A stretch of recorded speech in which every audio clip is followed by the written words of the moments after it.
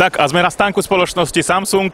Je útorok, to znamená je po udalosti, ktorá sa volala Ampect 5, takže tu sa už bude predstavovať Samsung Galaxy S5 v špeciálnej miestnosti. My sa pozrieme na tie základné vlastnosti tohto telefónu. Mňa osobne zaujíma snímač otlačku prstov, ďalej snímač tepu a ďalšie vlastnosti, hlavne čo sa týka zabezpečenia tohto telefónu. Takže pôjdeme sa pozrieť priamo tam, kde sa dá dostať len s novinárskou vysačkou. Samsung Galaxy S5 prináša 5 nových vecí, minimálne 5, samozrejme je ich viacej.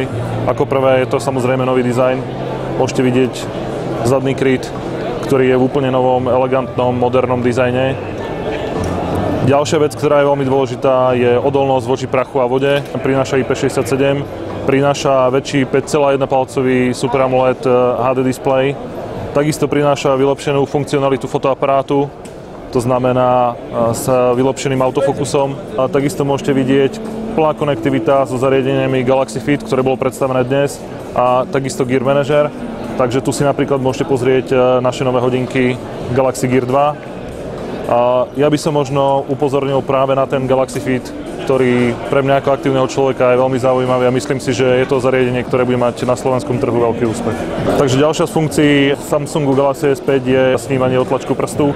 Ako vidíte, po jednoduchom zadaní svojho nového accountu telefón nasníma otlačok vášho prsta a následne môžete samozrejme kedykoľvek telefón odmknúť iba vy v safe mode a môžete byť bezpečný s tým, že sa do vášho telefónu nedostane nikto iný. Ďalšia z vecí, ktorá je veľmi zaujímavá podľa mňa, je vylepšená výdrž batérie. To znamená, všetci máme problém s tým, že ráno prídeme s nabitým telefónom a už po máme problém s baterkou. Je tam vylepšený e, power mode, čo znamená e, úsporu elektrickej energie a už by sa vám nemalo stať to, že večer prichádzate domov s vybitým telefónom a nedokážete normálne fungovať. Galaxy S5 prichádza na slovenský trh a vlastne na celosvetový trh v štyroch základných farbách. Tu ju môžete vidieť e, vo farbe modrej, Ďalšie farby, ktoré budú k dispozícii, tak bude farba biela, bude farba čierna a bude farba zlatá. Čiže od začiatku predaja budeme predávať na celosvetovom trhu 4 farby tohto skvelého flagshipového telefónu Samsung Galaxy S5. Galaxy S4 ako úspešný model na Slovensku sa plánuje zatiaľ predávať ďalej. Tak ako môžete vidieť, medzi tými dvomi produktami je rozdiel a nie je zrovna malý, takže si myslíme, že obidva tieto modely majú určite ešte zmysel a budú predávané na slovenskom trhu ďalej. Sú to hodinky, ktoré obsahujú zakrivený OLED displej. Môžem ho takýmto spôsobom ovládať, to znamená, môžem si merať činnosť srdca, alebo koľko som krokov realizoval, ako som behal, koľko som spotreboval, zariade, koľko som spotreboval kalórií a podobne. Môžem nájsť svoje zariadenie, takže ako vidíte, môžem ho nájsť. Dobre. No a tu vidíme aj biele vyhotovenie. To vyzerá takýmto spôsobom.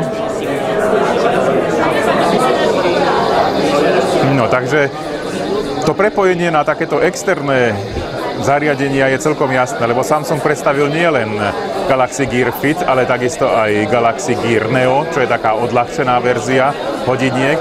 Tak toto je pre mňa posledný vstup, pretože za chvíľu idem na letisko. Mišo, ty ešte ostávaš jeden deň. Máme všetok materiál pre vás pripravený, máme tony fotografií, videa. Toto spracovať to nebude celkom jednoduché, ale ideme s tým do marcového vydania, takže budete vidieť všetko podstatné, ako sme slúbili. Ako keby ste tu stáli, tak to naozaj budete mať. Takže Mišo, moja otázka na teba. Ty si bol na Asuse, čo tam je zaujímavé? Asus teda po, po vzore z minulých období prináša ďalšie Zenfony, alebo teda Padfone plus nové modely Zenfonov. Čo sa mne páčilo teda, že, že to odstupňovali a kto chce, kto chce Zenfone alebo proste nejaký kvalitný telefón, tak to neznamená, že mu, že mu zaberie celé vrecko, môže sa rozhodnúť, či chce štvorku, šesku alebo nejaký väčší rozmer. Samozrejme idú do farieb, takže v rôznych farbách existujú tie telefóny. Špecialitou je aj Padfone nový, len sa mi zdal trocha hrubý, No ja som bol ešte na stánku spoločnosti Lenovo, tam som ja videl najnovšie smartfóny. Tie, samozrejme, otázka je, kedy prídu na slovenský trh. Vyhýbavé odpovede na to sú, takže očakávame, že počas prvej polovice tohto roka, takže uvidíme, ako to naozaj bude.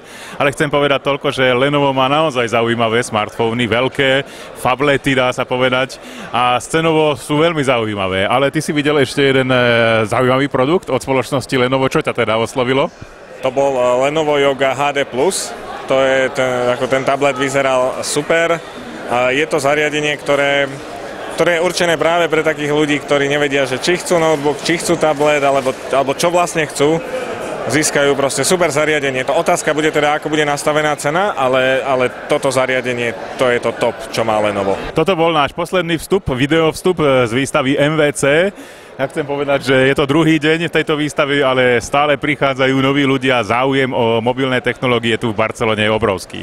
Sme radi, že sme vám mohli priniesť túto výstavu na vaše obrazovky a tešíme sa na budúce. Ahojte. Ahojte.